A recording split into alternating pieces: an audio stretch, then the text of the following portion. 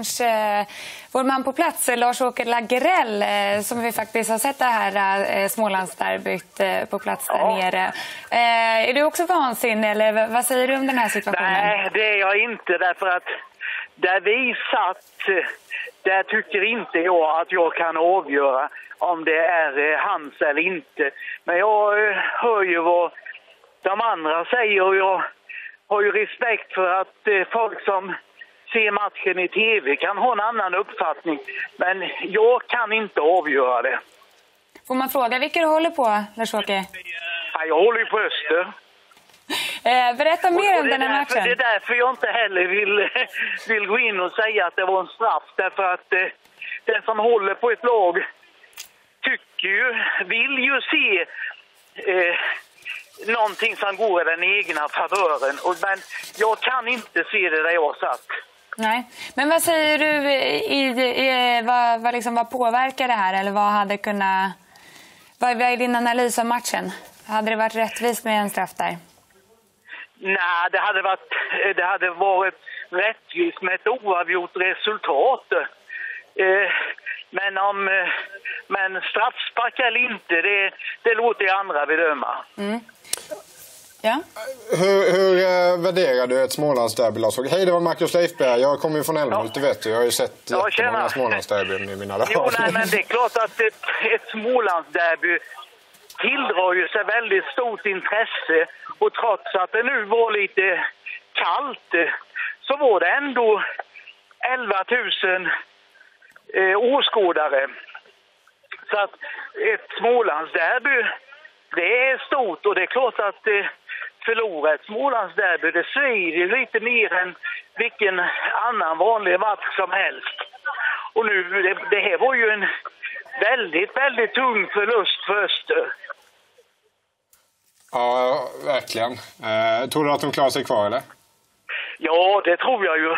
Mm. Men det är ju som att fråga vilken supporter som helst om deras lag om de tror att de klarar sig kvar. Jag tror att Öster klarar sig kvar, men det är klart att här, här borde det ju ha varit ett, ett annat resultat där man har det önskemålet. Men du, Superettan är inte helt fel heller. Då får du två Smålandsderby både mot J och mot Värnamo. Nej, vi vill inte ha ner Öst i Superettan. Men vad tror du att det är som har gått fel i år då? Vad är det som inte håller? För, du talar om Föster?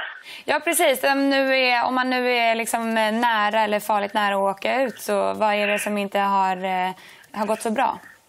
Nej, jag tror att det är helt enkelt så här att eh, eh, i förhållande till förra året, det är betydligt hårdare i allsvenskan och eh, det krävs mer än i superettan. Så eh, värderar man de två säsongerna i förhållande till varandra så är det skillnaden i styrka när det gäller allsvenskan i förhållande till superettan. Mm. Får jag fråga en sak också Lars-Åke? Eh, ja.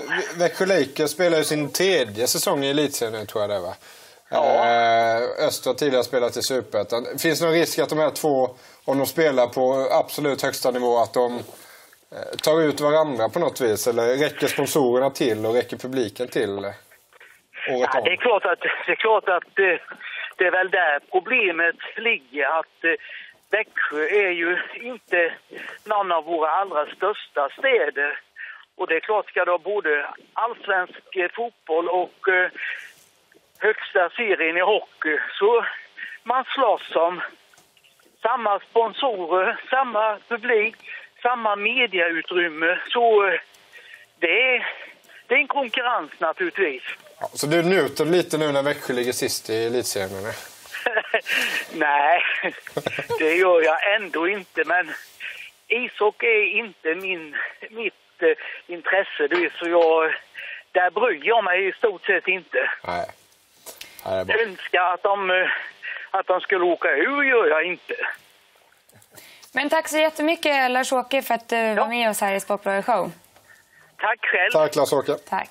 Eh...